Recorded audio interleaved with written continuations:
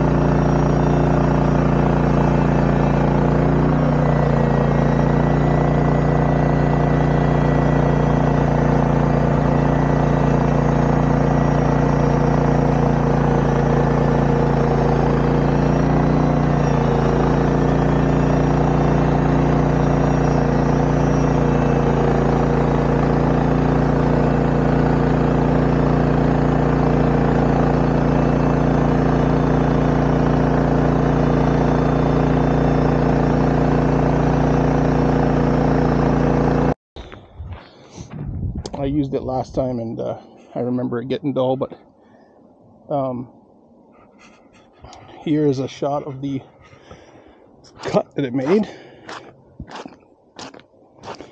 Nice cut though, really. It's just, uh, I can tell it's starting to get dull because I'm starting to have to push a little bit. And once I have to start pushing with these, I change the blade right away. I don't, I don't leave it on there for any length of time at all. I've got lots of blades so I can change it up and uh, I can sharpen those blades and bring them out, bring them back and they'll, they'll be good as new. Um, this is a really good cut actually. I use an inch and a half blade. I've been using those for a bit and I really like it. I really like it. So I can actually feel a little dip right here I don't really feel it anywhere else. I feel a dip right there, but that's when your blades start getting dull, you'll start to get that. So yeah, I changed mine right away, but I'll change it and uh, we'll be right back in business.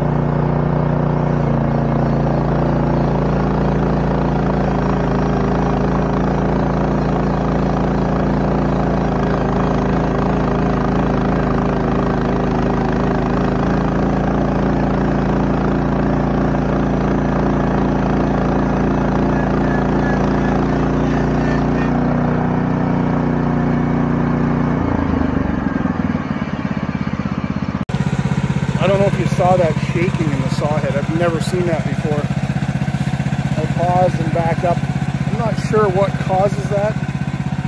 Uh, maybe I just don't have this end pinned down enough. Or maybe I have it pinned uh, too low. So you can see where I paused here and then continued on. But I, I still think it'll be all right, but I want to see why it's doing that. I guess we'll see.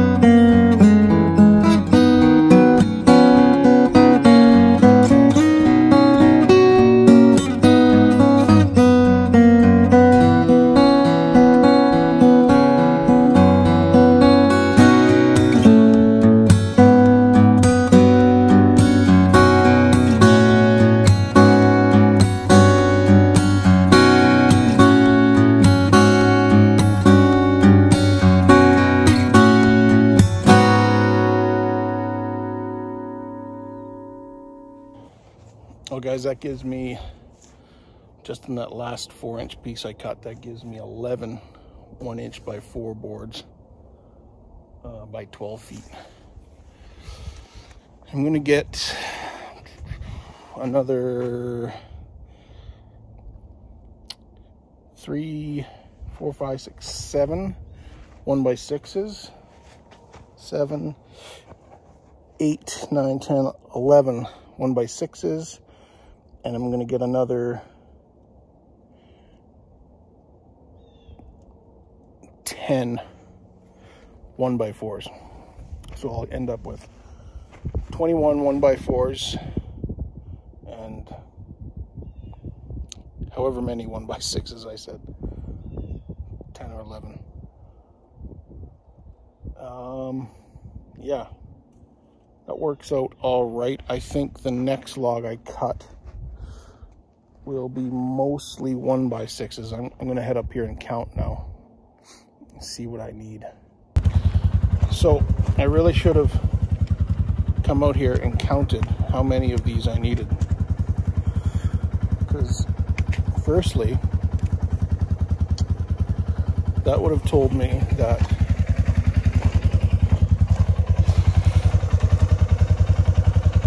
these are actually three inch boards, not fours. So I gotta go fix that. Um, yeah, that's pretty much, that's all. The only mistake I made so far. I need 52 one by threes. That'll give me enough for the strapping on the roof. And that'll finish off the sides and back side here. And then I need 22 one by sixes. So I'm going to take these boards back down and rip an inch off them. I'll get those ready and then I'll keep cutting the rest of these. And we'll see what we get out of that one log. I think there's nine or ten one by sixes. So almost half of what we need. And I think there's 11 or 12 more one by threes. Maybe we'll get a bit more than that because they're uh, not as wide. So we'll see to change our cut pattern. But yeah, I'll go back down and start uh, measuring those boards that we have cut and start cutting them. So that fixes that mistake. Take a look at this. This is where I start my cut. That's exactly three inches to here. Right here, it's a th three and an eighth all the way down to the end. I've seen this before on a couple cuts. I didn't really pay much attention because I was gonna have to cut a bit off these anyways, and I'll have to do the same to these. So I'm not really worried about it, but I'm not sure why that's doing that. I'm gonna have to take a look at my bed, my bunk here, and check level and see how it's sitting. Um, if anybody knows why that's happening, put a message in the comments and let me know. Um, not sure, I guess the blade is starts off and then it lifts up and then it rides straight all the way across. Not I'm not sure why it does that, but I'm gonna have to look into it. But that fixes that mistake. Those are down to three inches now. And I guess I got myself a bunch of stickers. So now I'm gonna cut these up. Um, gonna see what I can get out of these and go from there. Well, I made a slight adjustment and I mean very slight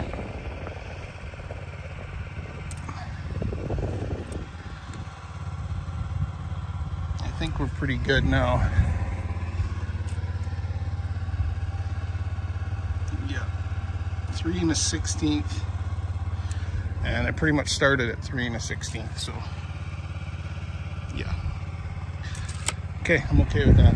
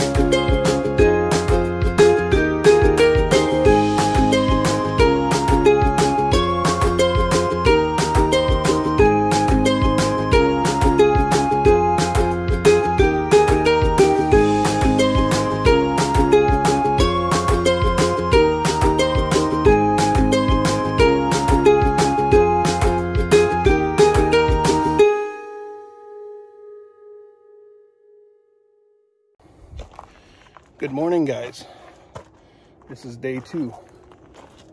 Well, day two for you, I guess, because I started this project a while ago. So I've got uh, whatever I cut up yesterday, I have it all cut to length.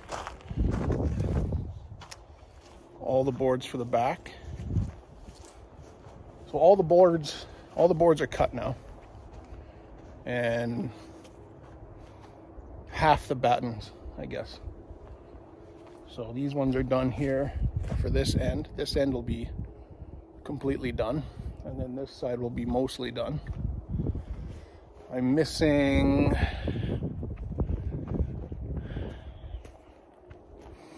mm, 25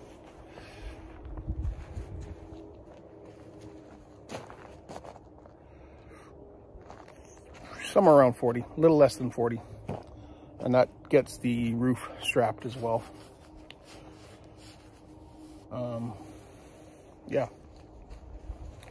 So I need to go get some screws because I'm out. And unfortunately, I don't have a nail gun, which pretty much bothers me every time I do projects like this. I could use one, but I don't have one. So I'm gonna go get some screws and we're gonna screw everything together here and then we're gonna do another count and we'll go cut some one by threes. And that will be our day today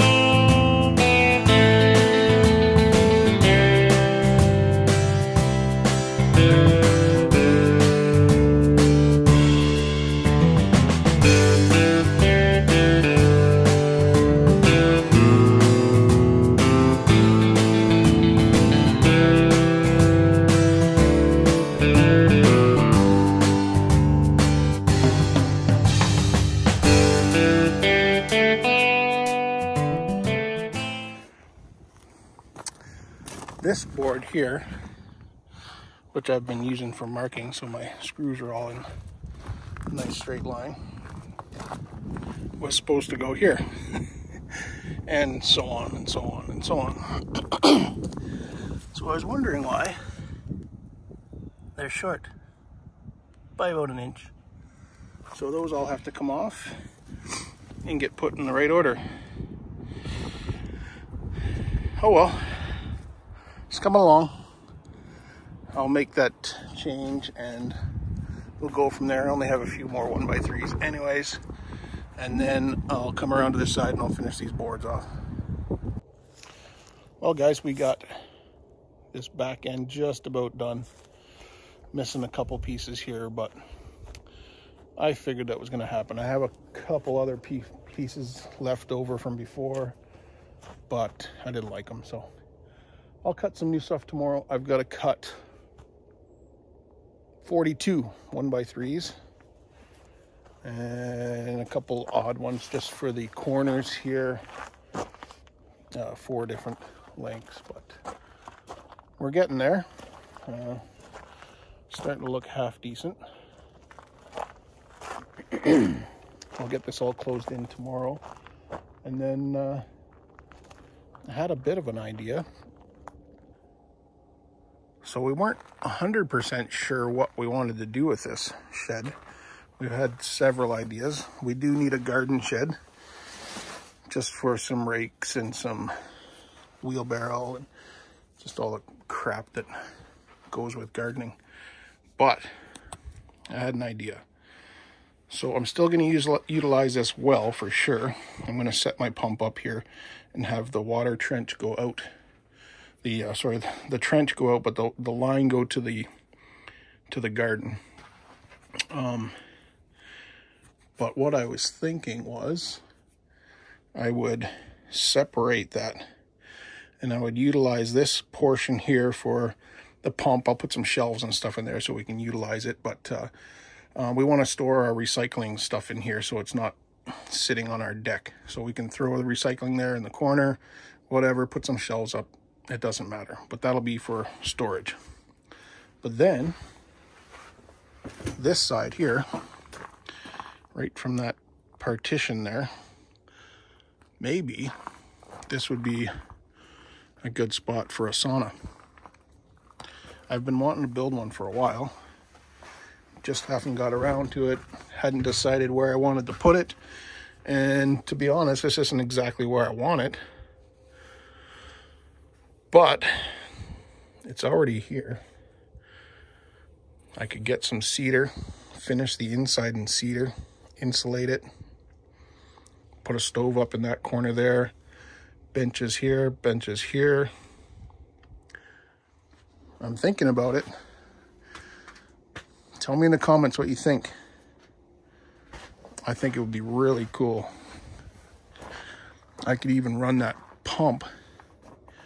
I could run a water line in here and have a shower or whatever. Maybe a shower on the outside. I don't know. Just some ideas. I know I had a friend who had a sauna about the size of this whole building, but he had it, he, he always had it really hot. And he put a, a, a big, well, I want to call it a bucket, but uh, like uh, bigger than a 50 gallon drum. So big enough it had steps up into and it was always filled with cold water. And you'd sit in here and get hot and then you'd dunk in that cold water and then you get back out and warm back up again and it was just awesome but i don't know I don't know if we have the room for that in here. I mean, I guess we do, depending on how many benches we want to put in here. But, yeah, just some ideas. I'm kind of liking that idea right now. I think that would be pretty cool. Um, if I did that, I might put another window on this side. Um, that's easy enough to do though. But yeah, tell me in the comments what you think. I think it would be pretty cool. We'll see what the secretary says. but uh, yeah, so that's what we got done today. Tomorrow we're going to finish all the battens and get all the strapping done on the roof. I don't have the tin here yet, but uh, it will be here soon, I think. Um, have to check on that, I guess. But uh, yeah, okay, guys, it's been a pretty productive day. I would have filmed more of this, but I had company over and stuff. But uh, yeah, so I didn't want to film when other people are around. So, but we got it done anyways. Okay, so we're back out here this morning. Uh, we're going to saw some logs this morning. We've got our cut list for that shed, and this is uh, plus one out here right now. I think it's almost December.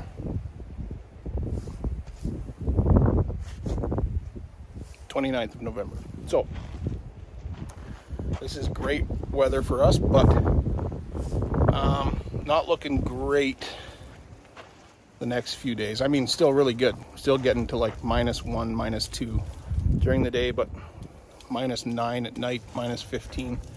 So we want to get this done. Want to get the exterior on the shed finished today so that uh, we don't have to be out here. Not that that's cold or anything, but it's just really nice to work in this weather. So um, yeah, so we're gonna get out of here and get our cut list cut and uh, hopefully get this all finished here today.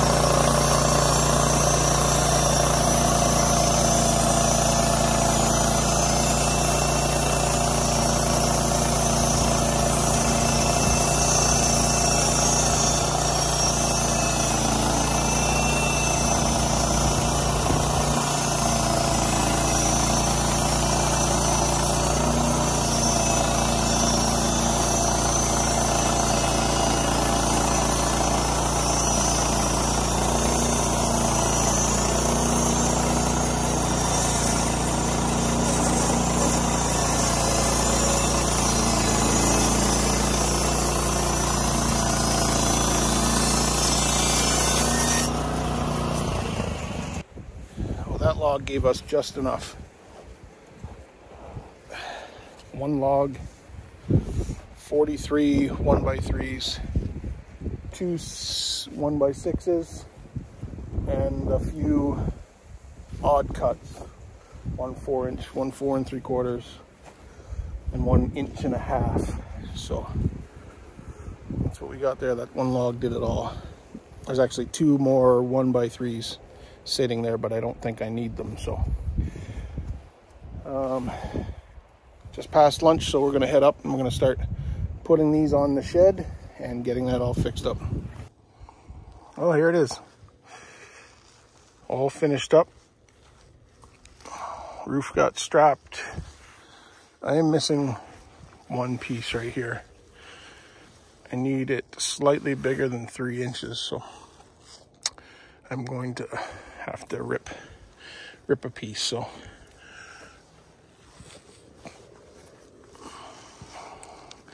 I still have to put the fascia boards up on the front and the back. Well, in the sides. And I have to put this piece in yet. And that should be it for now. And uh, I gotta go see if I can find a door for it. And I have to see when this tin is coming. So it's all strapped, ready to go. I am still really contemplating putting a wall right here. Um, I think I might do that. Um, even if I don't use this side for a sauna. Um, it can still be for storage and that can be dedicated for the, the pump. I'm not going to put a, a stereo in here too so that I'm to have speakers on the outside here so it's pointed towards the fire pit. Right now, I use the stereo in the garage and I have to turn it up really loud to get the volume at the fire pit. So I want to uh, put two speakers right here at this end and aim them that way. And uh, yeah, so I want to put a stereo in there and also have to put that water line in Gonna put some shelves in there and some hooks and stuff for shovels and rakes. And then this side, we just don't know yet. We'll see. I really think I am gonna partial partition that that section off. Um, I've already set myself up to do it really. I put some blocking in there so I can nail blocking up there, blocking up there, um, just so I have a spot to nail that wall to. So, well, that's it, guys. I think I'm going to end this video here because I don't know when that tin is coming. I would like to put it all in this video, but I don't know when it's coming yet. Um, I have a bunch of it, not just for this building, but I've got another little project that's half done over there that I need it for. Um, and then I have enough coming for another project I'm going to be building a building over top of the sawmill. Um, yeah, shelter over top of it.